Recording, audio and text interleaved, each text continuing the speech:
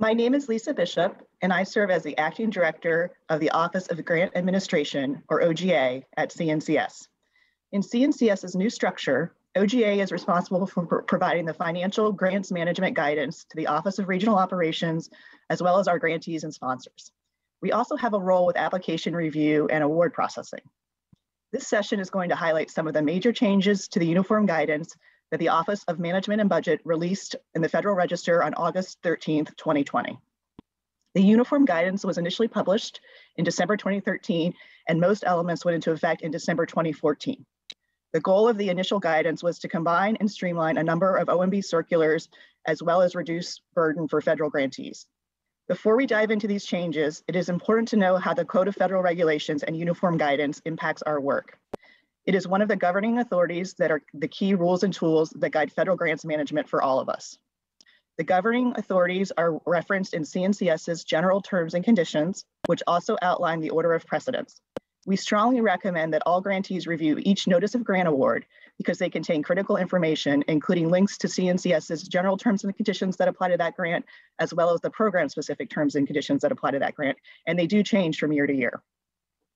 The terms and conditions also outline the key governing authority documents and the order in which we apply them if it, the rules if there are any inconsistencies. These rules range from government-wide to agency-wide to program-specific to grant grant-wide and include the following: all applicable federal statutes, all applicable federal, federal regulations, the notice of grant award and signature page, the applicable CNCS program-specific terms and conditions, CNCS's general terms and conditions for that year, the notice of funding opportunity, and finally, the approved award application, including all assurances, certifications, attachments, and any pre-award negotiations. These changes that OMB published on August 13th support the implementation of the President's management agenda, results-oriented accountability for the grants cross-agency priority goal for the federal government, as well as other administration priorities. They also provide additional interpretations on the uniform guidance and support implementation of the Digital Accountability and Transparency Act of 2014, known as the DATA Act, and the new Grants Reporting Efficiency and Agreements Transparency Act of 2019, known as the GREAT Act.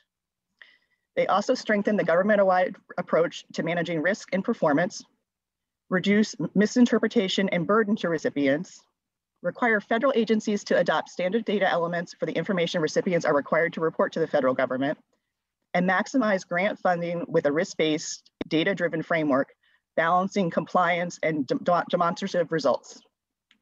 There are four main strategies with these changes. They operationalize grants management standards, establish a robust marketplace of modern solutions, manage risk, and finally, achieve program goals and objectives. So there are four parts of 2 CFR or the uniform guidance that are uh, most impacted by these changes. Part 25 is the universal identifier and system for award management. Part 170 is reporting subaward and executive compensation information. Part 183 is never contract with the enemy, which is a brand new section. And then part 200 is the uniform administrative requirements, cost principles, and audit requirements for federal awards. This is where we'll spend the most time today. So most of the changes go into effect in November, and I'll talk about those in a minute, but there are two changes that were actually effective the date that OMB published on August 13th. The first one is section 200.216, which is the prohibition on certain telecommunications and video surveillance services or equipment. And this really is about any federal recipients contracting or renewing contracts with a number of covered tele telecommunications equipment or service providers. And that's outlined in more detail in section 200 216. I also want to touch on 200.340, which is about termination of federal awards.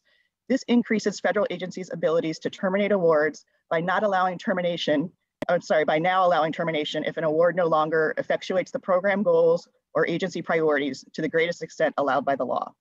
Federal agencies and pass-through entities must include any provisions for termination in the specific terms and conditions to be able to utilize that, that new flexibility. All right, so the most the, the rest of the refinements actually go into effect November 11th of 2020. Uh, this is not an exhaustive list, but they're the ones that are most likely to impact your, your awards from CNCS. So section 200.1 purpose expands the definition of fixed awards to include both grants and cooperative agreements. Previously, it was just grants.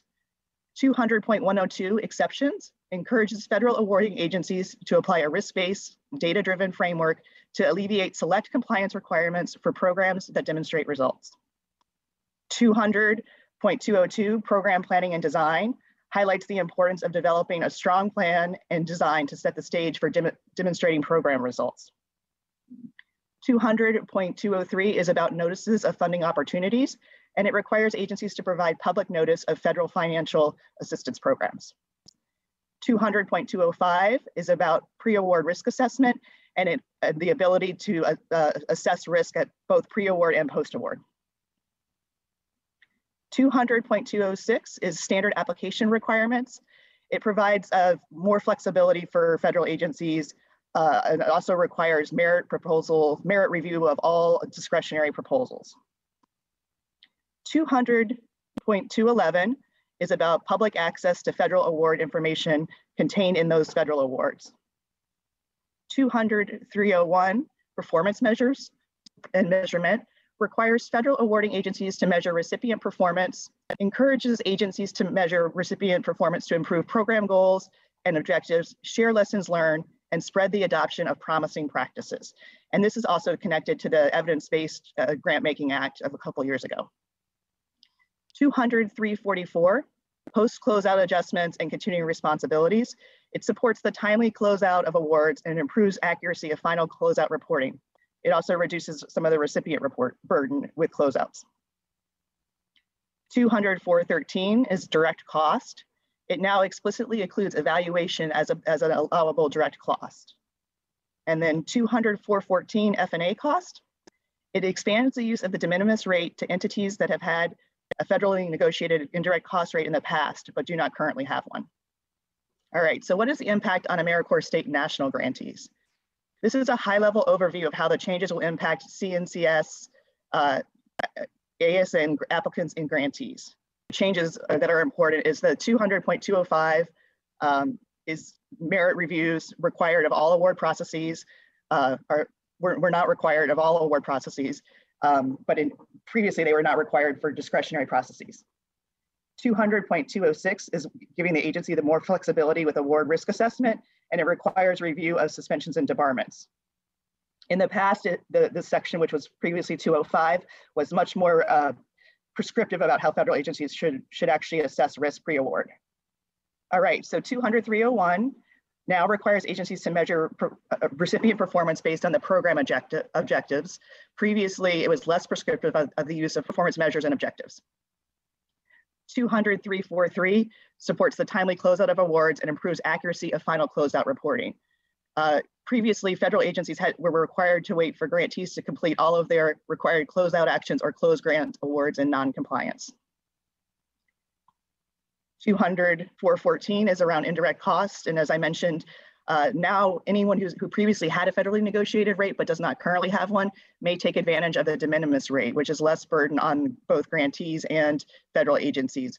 Previously, uh, you weren't allowed to, to, take advantage of the de minimis rate if you, if you had ever had a federally negotiated rate. So this is a pretty big change uh, for folks who want to utilize the de minimis rate.